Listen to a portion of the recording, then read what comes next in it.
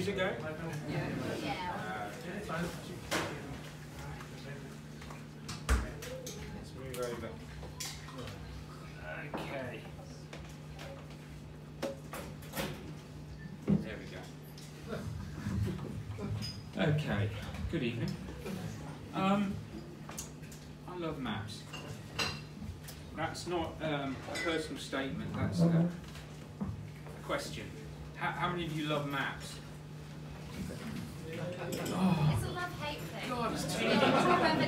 Yeah, it's, it's like- it's. It's tedious, right? so I work with someone who's um, a cartographer, and uh, her most hated phrase is when people say, "I love maps." It's like when you're doing a job interview, and you know, well, tell me something about yourself. I love maps. Oh. right, right. So there's a top tip, by the way. Um, so we all love maps, right? Well, here's the problem. Um, lots of people love maps.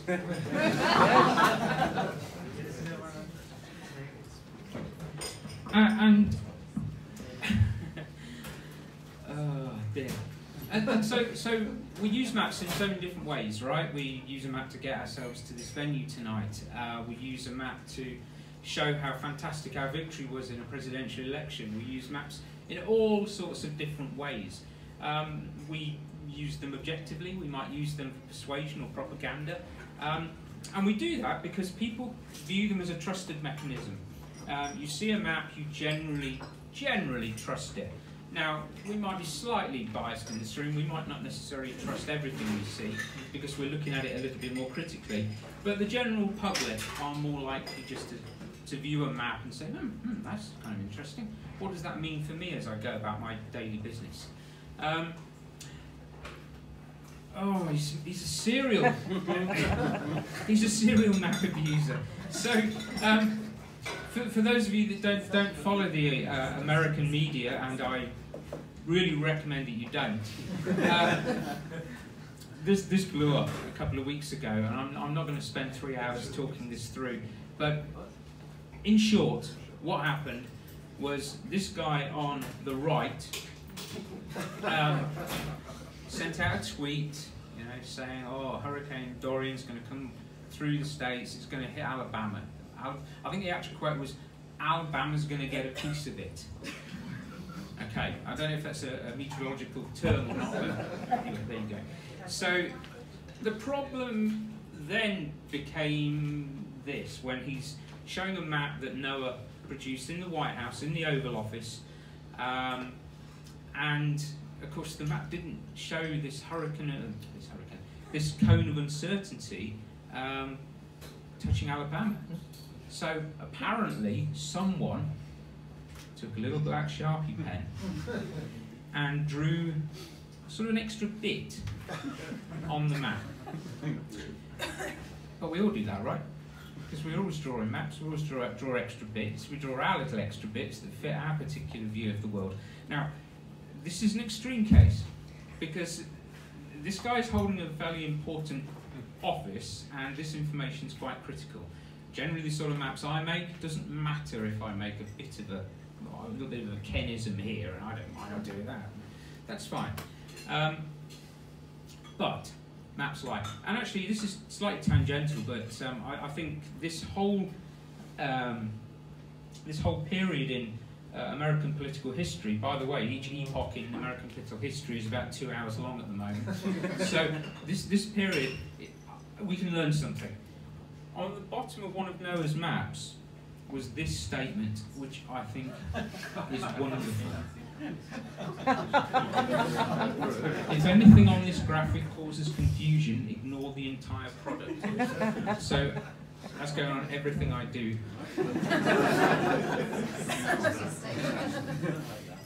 Okay, so I I tend to spend my life um, going between uh, cringing about bad maps and thinking about how we can make better maps. And so the rest of this presentation is kind of batting that idea backwards and forwards and seeing what we can learn from how people make baddish maps. And there's no more Trump, I promise.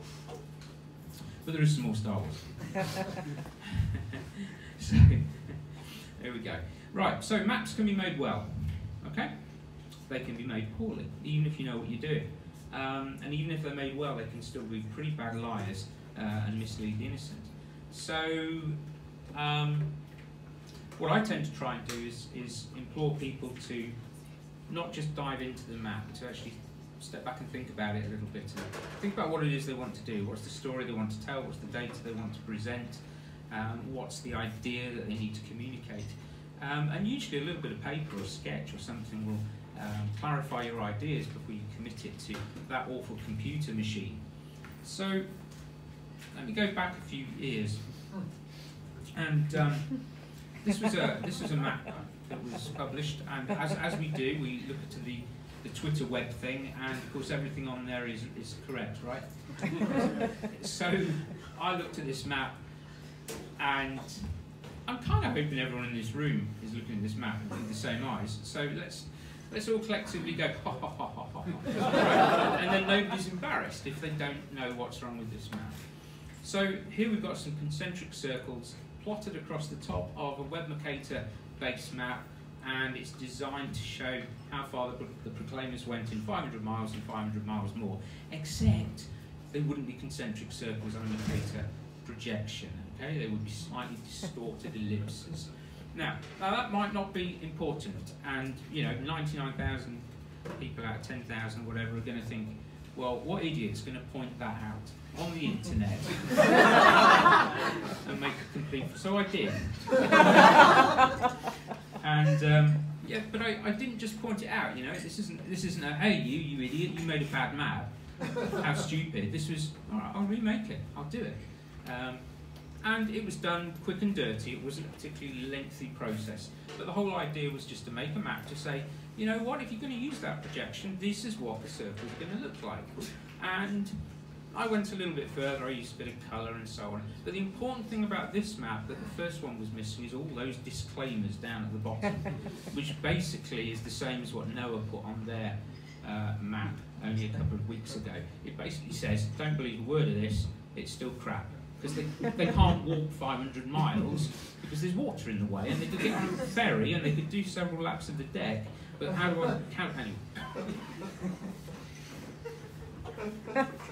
so, I'm, I'm going overthinking is what I did. So, um, now I'm going to beautifully pivot onto the fact that I recently wrote a book, and here's a page from it.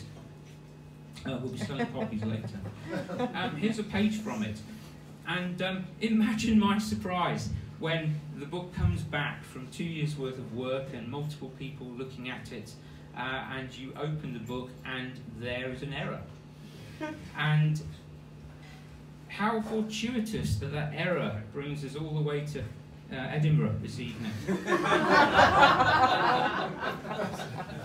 so, you know, even, even when maps look good, they can mislead the innocent, right? So, Leith's in the right position on these bottom two maps, but that counts for absolutely nothing because it's completely wrong in the top one. Now, I know how it happened. It was an unlocked layer in Illustrator, and I moved something I forgot to lock the layer before I moved it, and I didn't bother checking it, and nor did all the other people check the book. and, and there we are. So that's in the book.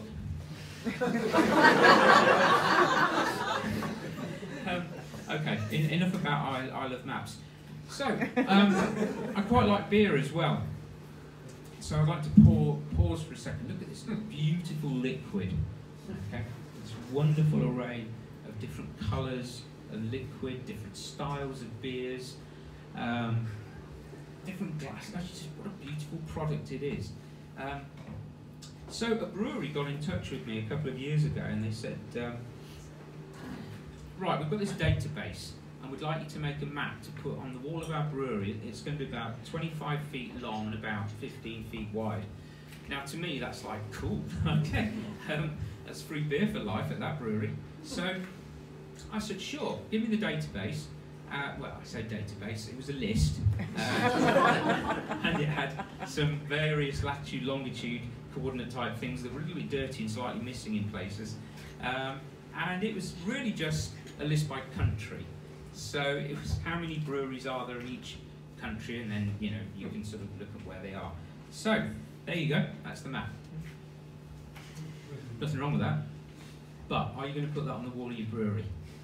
No. No. Okay. So, you know, this is one of those quick and dirty maps. There's nothing wrong with that map at all. That's where all the breweries are in the world.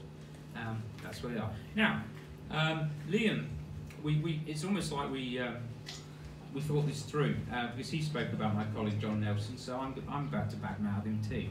Um, so if you give a data set to 10 different carto cartographers or data viz people, how many different maps and data viz are you going to get? 10, right? They're all going to be different. So if I gave this data set to John Nelson, he would, and this is a quote, firefly the shit out of it. this is what his map would look like. I absolutely guarantee it. Um, but I, I didn't want to do that. What would I do? I would just abstract the shit out of it. So my map ended up looking like that. Um, it's a cartogram. Okay, it's just basically the use of bottle tops, uh, sized by the number of breweries in each country with some flags. Now remember, this is a brewery. Um, it's got to be visual. It's going to be big. Um, it's going to be in the US, so it kind of helps that their flag's going to be the biggest. Uh, these are all the ways in which you can use cartographic mechanisms to support the message. So I, I made that. I did actually get that first map on the map, just in a, a slightly different way. Okay, um, sticking on the beer theme. Um, this could be contentious, so I'm going to talk a bit about Brewdog. uh, so before I get going, because it's not going to be pleasant, um, let me let me state categorically for the record, I'm a big fan of Brewdog. I'm a fully paid up member of Equity for Punks. There's my number if you want five percent off at any bar, and um, and I like the beer, but I don't much like the maps that they put out on their website. So here's one. This is the number of people who have signed up to their shareholder sort of thing in the States. And they base their brewery in Ohio, so you know you can see why Ohio is, is in red. Uh, they soon got rid of that. They favoured this approach. A black background, very trendy. Um, and they wanted to say uh, something about uh, hotspots. So Ohio and California, apparently, te Texas comes out pretty high. Um, now we can see some problems with this map, or at least I can, because they're mapping totals. This is a real bugbear of mine. You can't map totals on a Choropleth. It's got to be a rate or a proportion. God, you know, it's like I have to press auto whenever I say that every single time I present. So I thought, I know what I'd do. I'll try and help. Um, so I sort of said, you know, all right, I like the product. This is what I do for a living. Clearly, you don't do maps for a living. Um, you know, this, this is you can't do it. So, what response do you think I got? It's just a bit of fun. well, is that what Trump said about his hurricane you know, it's just a bit of fun. I'm just just doing this for kicks. So I said, well, that's fine, but the map's wrong. so, you know, there's a, there's a point at which you, you, you know, it wouldn't actually be difficult to make the map correct. Um, so I kind of, you know, I, I, thought I was being quite helpful. And then I went to visit the brewery um, about a year and a half later. Um, and I was staying there, and I said, but, you know, I'm staying here. I'm here. Free consultation. You just got to just got to ask the question or sort of, no, absolutely nothing so, so I took the data and I kenned it. Uh, this is what the map would look like once it's been kenned. So I took the Brewdog corporate colours. Probably shouldn't have done, but I did. Um, I stuck the logo behind the map. I probably shouldn't have done, but I did. Um, and, and, this is how you kind of start to make a map look a little bit more useful in corporate colour schemes on a website. But it's still totals. You could play around cartographically maybe use dot maps, because actually Ohio does have a lot of uh, equity for punks. Or, if you've got some bottle tops lying around on your um, hard drive, you, you, think, you think, I know what I can do here. Um, that map I made a couple of years ago, I can basically redo it. So I did, and that's what it would look, look like with bottle, bottle caps. Um, do you think they took that up? No. No, so let's go back to the beer. All these beery colours. So back to John Nelson. Um, here's John and I uh, in London enjoying a pint of EBC 147, which is also known as SRM 74. Uh, that's the standard reference method and the European Brewing Convention for identifying the precise colour of beer. Now there's a lot of physics involved here. It's basically about light attenuation through uh, a prism of the liquid that's like one centimetre cubed or something like that, and that's where my knowledge of the physics ends. But it's basically a number. So you can categorise every single number of your beer, or you can categorise every beer with, with a number, and it can be uh, based on uh, the SRM method over on the left, or the EBC over on the right. Um, interestingly, it's the same colours, it's just different numbers. So I'm, I'm European, and uh, certainly at the moment, and uh, so I would make a map using the EBC scheme. John Nelson is not a European, he's an American. He would make a map using the SRM scheme.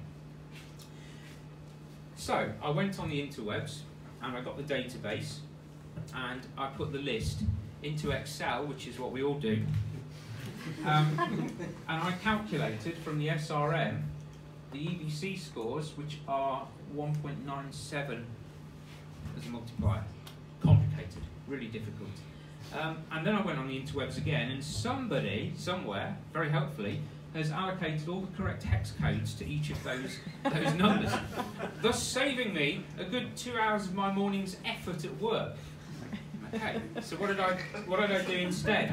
I went into my favourite piece of GIS software, which I'm paid to use, um, and basically converted all those hex codes into an EBC style. Alright, now what did I do with that? I made a better Brewdog map without the corporate colours, but I made it in beery colours. Because you can make it in beery colours now. So this is all this is all uh, uh, the totals, and this is what it looks like if you turn it into a proper choropleth. But remember, this is just the EBC colour scheme.